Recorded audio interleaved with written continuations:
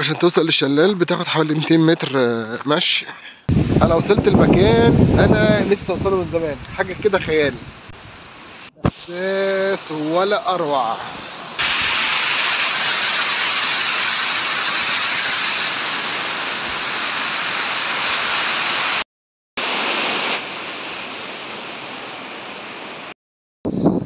مش متخيل الشعور اللي أنت تبقى فيه لما تبقى في غابة زي كده واشجار و... وأنهار حاجة جميلة جميلة بصراحة. الموقف اللي أنا فيه آه، روعة إحساس روعة. حتى الأكسجين أكسجين فظيع. سافروا يا جماعة والله سافروا شوفوا الأماكن الجميلة دي. طبيعة خلابة طبيعة خلابة. هنا مصدر الشلال قبل ما ينزل المية.